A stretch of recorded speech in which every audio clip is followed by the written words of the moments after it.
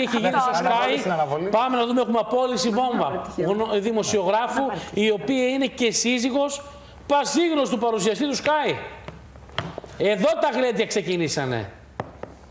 Ποιουνού γυναίκα απολύθηκε, έγινε η απόλυση; Ναι, πρόκειται για έναν ε, παρουσιαστή έτσι, όπου με λύπη, που με αργότερα η λύπη του έγινε και ε, μεγάλη ενόχληση κατά του Sky, καθώς απολύθηκε η σύζυγός του και δημοσιογράφος στον πρώην ε, τηλεοπτικό σταθμό που ήταν μαζί. Ποια, ποιο, ποιουνού δημοσιογράφου γυναίκα είναι; Πρόκειται για τον Μπάμπη Παπαδημητρίου, γνωστός γυναίκα. δημοσιογράφος και παρουσιαστής ε, στον ε, Του Μπάμπη Sky. Παπαδημητρίου απολύθηκε από το Sky. Ναι, η κυρία, η συνάδελφος είναι η Αλεξία Κονάχου, Ναι. η οποία είναι χρόνια δημοσιογράφος, τελευταία ήταν και διευθύντρια στο sky.gr, δηλαδή στο ενημερωτικό site του Sky.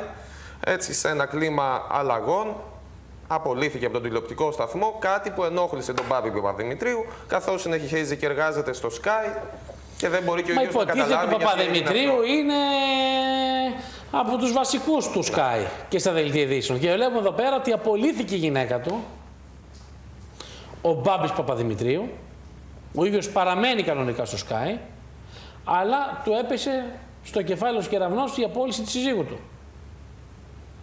Τι να πω, μάσχημα πράγματα να ακούς για πολύς συναδέλφο. Έτσι.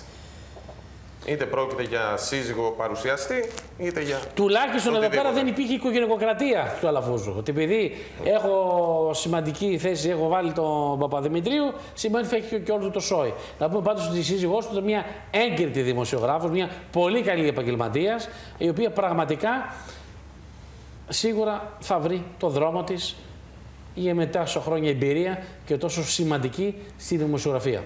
Μένουμε εδώ πέρα λοιπόν. Πάμε τώρα να δούμε τι άλλο έχει συμβεί.